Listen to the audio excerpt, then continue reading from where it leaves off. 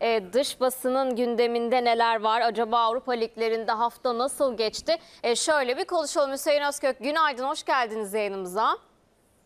Günaydın Ezgi, hoş bulduk. Taner'e de selamlar, sevgiler. selamlar Ee, herkese iyi bir gün diliyorum. Çok teşekkürler. Biz de size güzel bir gün diliyoruz. Şimdi isterseniz hemen başlayalım. Ee, arkadaşlarımızdan rica edelim. Yavaş yavaş biz e, puan tablolarını bir taraftan ekrana getirirsek e, şöyle Avrupa liglerinde hafta nasıl tamamlandı, puan durumu nasıl değişti? E, şöyle bir görerek isterseniz e, sizinle değerlendirmelerimize başlayalım. İlk olarak hangi lig geliyor?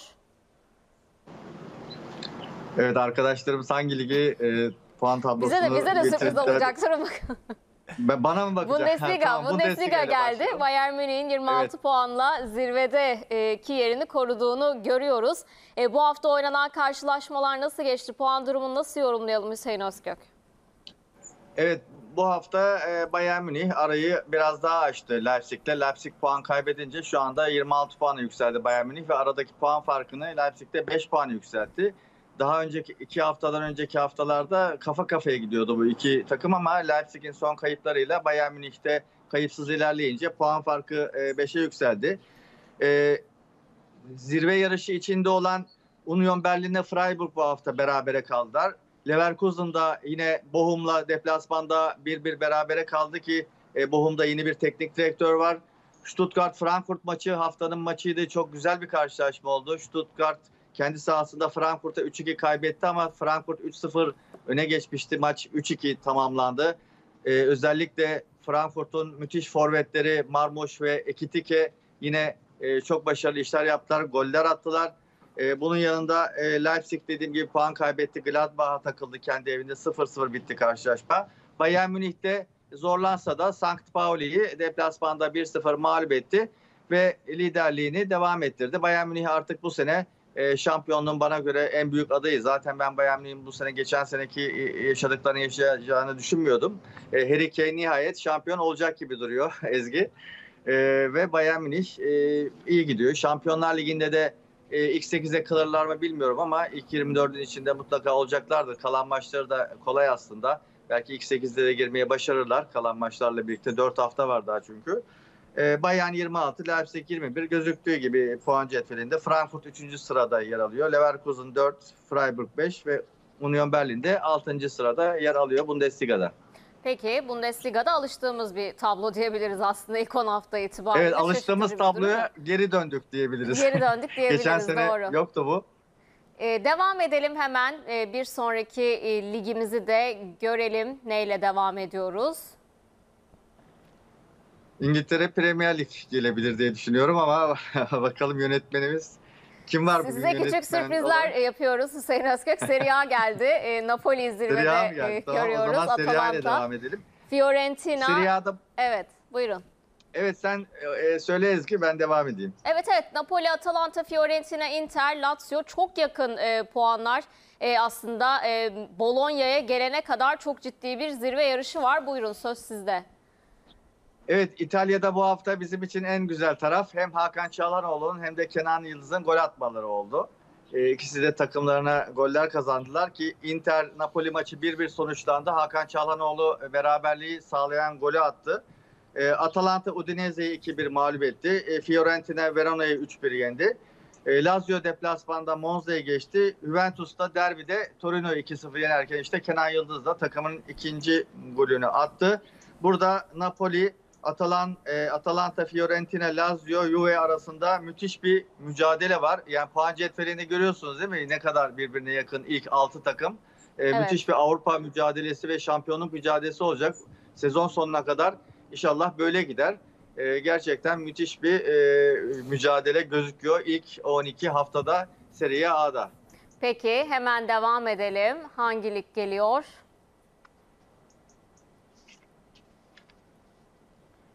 Bu Şuraya bir gerilim müziği mi koysak acaba lig gelene kadar? Bize de sürpriz oluyor çünkü. Premier Lig geldi. Premier- Evet. Premier Lig'de tabii ki e, Manchester City'nin durumu en çok konuşulan konu. Bir de bu hani e, sosyal medyada dünden beri çalkalanıyor. E, Klopp'a ve Liverpool'a hakaret eden e, İngiliz hakem e, olayı var. e, neydi hakemin adı? E, David David Kute.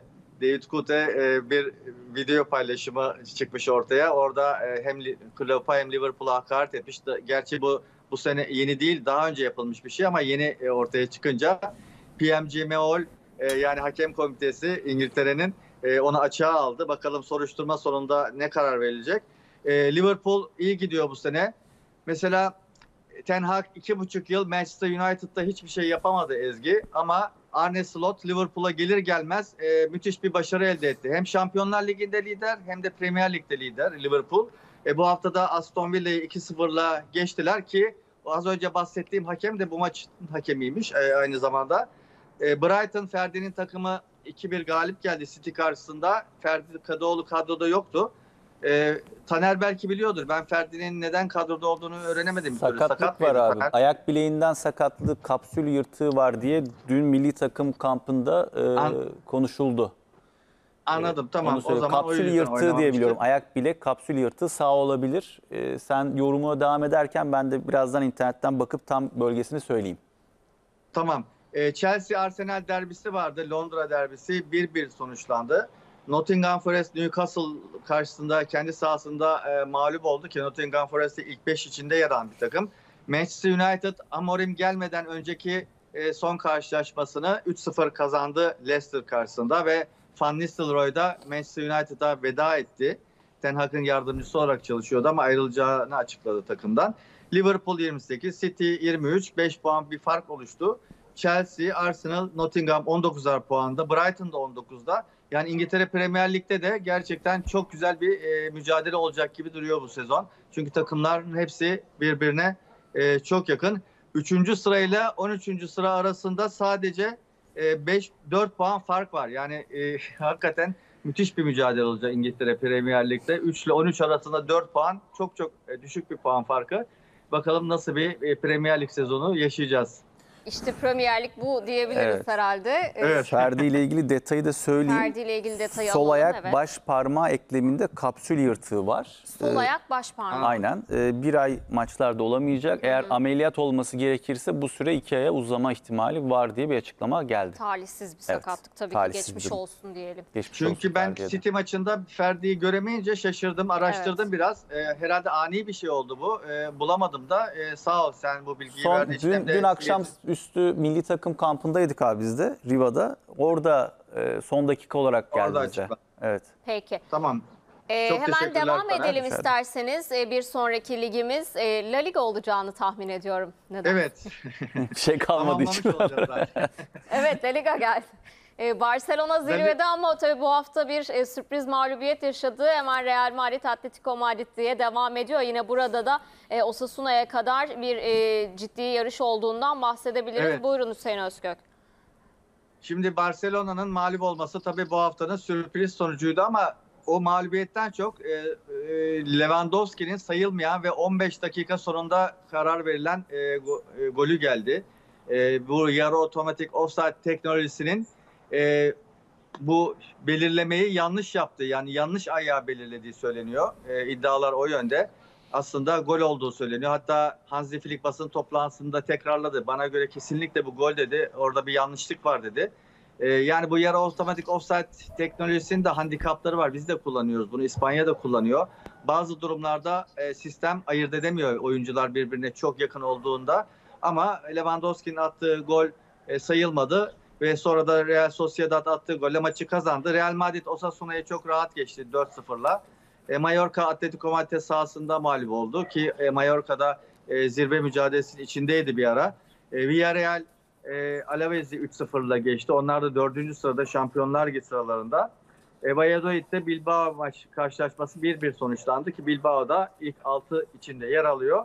Barça 33 puanda, Real 27, Atletico Madrid 26, Villarreal 24, Osasuna 21 gözüktüğü gibi Bilbao 20. Orada da e, Barça'yı saymazsak böyle yakın bir mücadele var takımlar arasında. Orada da müthiş bir Avrupa Kupaları mücadelesi olacak gibi duruyor. Peki. Hüseyin Özkök şimdilik çok teşekkür ediyorum size. Ee, size bir 5-10 dakika borcumuz olsun. Konuşamadığımız konular elbette var ama onları telafi ederiz. Ee, çok çok teşekkür ediyorum. Güzel bir gün diliyorum. Onları da Perşembe konuşuruz inşallah. Evet, evet. İkinize de güzel bir yayın diliyorum. Teşekkürler. teşekkürler. Teşekkürler.